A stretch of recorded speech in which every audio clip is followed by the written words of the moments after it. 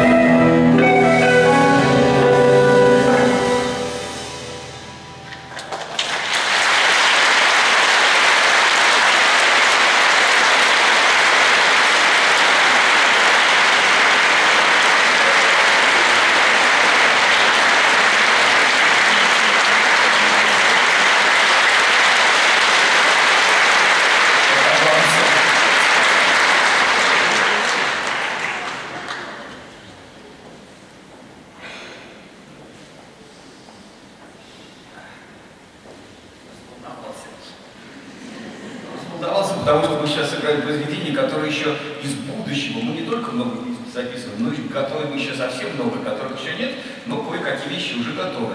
Э, и, конечно, странно, наверное, говорить, что первый раз исполняется, исполняется впервые, потому что музыка давно известная, понятно, мы сейчас сыграем полечку от Михаила Ивановича Глинки. Э, ну вот здесь очень приятно, что с детишками и уже с разные совершенно возрастные группы, мне это очень приятно.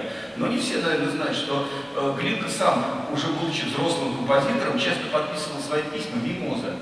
А потому что в детстве его, он был отдан на воспитание бабушки с дедушкой, и они его путали и баловали.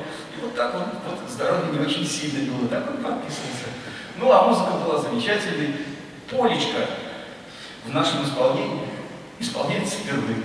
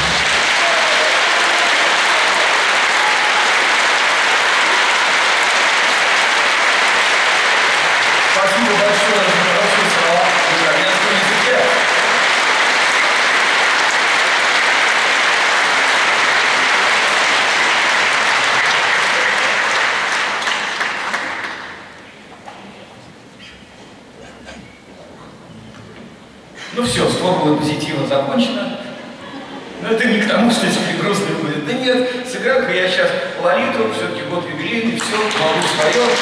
А вы знаете, ну недавно я был на питерском телевидении, и там меня спрашивали, а это Лолите Милявскому посвящено? Или, может быть, Лолите Набокова? Ну, наверное, скорее, скорее второе. Но, а скорее не первое, и не второе, а просто так само по себе Лолита.